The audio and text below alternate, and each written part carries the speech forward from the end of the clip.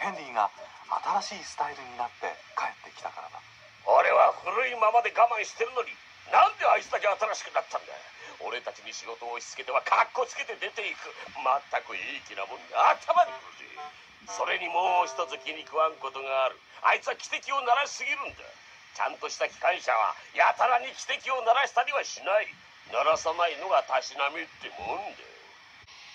ヘンリーはかわいそうにしょげてしまった気にすることないよ。パーシーがささやいた僕は君の汽笛が好きさ。あばよヘンリーお前が帰ってきたのは嬉しいが俺の言ったことも忘れるなよ。しばらくしてヘンリーはエドワードの駅に来た。いやあヘンリーすごくかっこいいね。昨日君の楽しそうな汽笛を聞いて僕も嬉しかったよ。あありがとうエドワード。ね何か聞こえない？ゴードンみたいだな。きっとそうだよ。だけど彼のあんな汽笛聞いたことないぞ。やっぱりゴードンだった。彼はものすごいスピードで丘を駆け下りて汽笛を鳴らし続けヘンリーたちのことなどまるで無視して駅を走り抜けていった。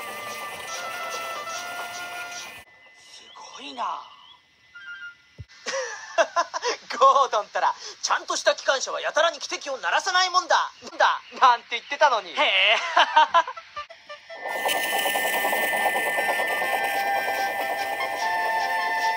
ゴードンは汽笛をけたたましく鳴らしながら走り続けたとにかくひどい音だ。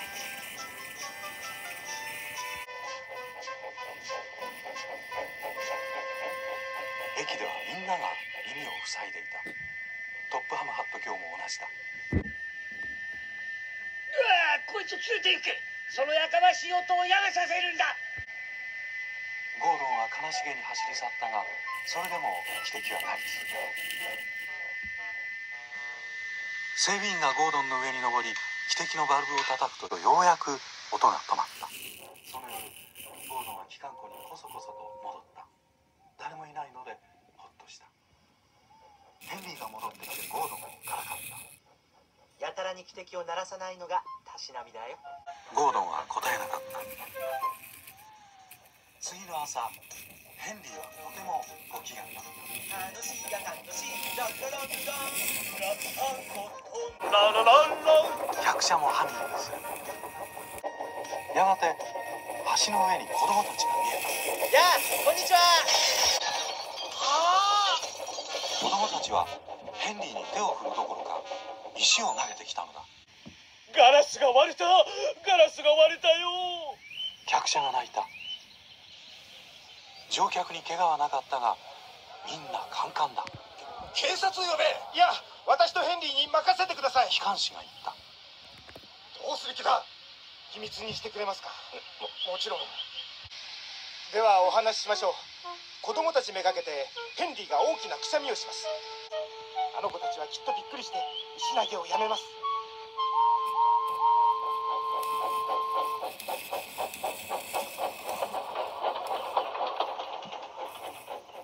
大勢の人が橋の近くの駅に集まっていた。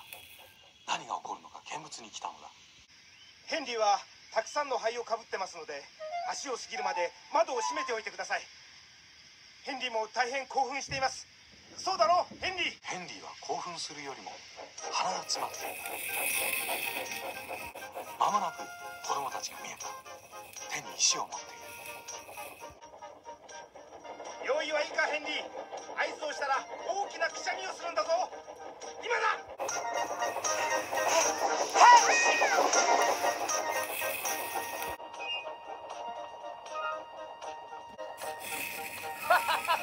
よくやったヘンリーヘンリーは帰りながら考えた。